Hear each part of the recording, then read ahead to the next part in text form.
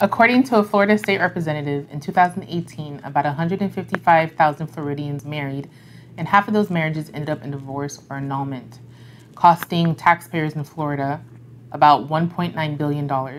A bill has been filed by State Representative Clay Yarborough that would change the process of getting married in Florida. If this bill were to pass, a marriage education committee would be appointed and they would create a guide to a healthy marriage. This guide would provide Floridians with resources regarding conflict management, communication skills, family expectations, and other issues that may cause a marriage to fall apart.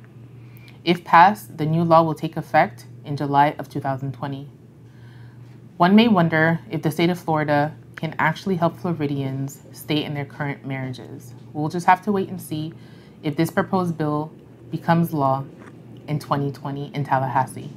My name is Patricia Elizee. I'm a family law attorney in Florida, and I help people survive the divorce process.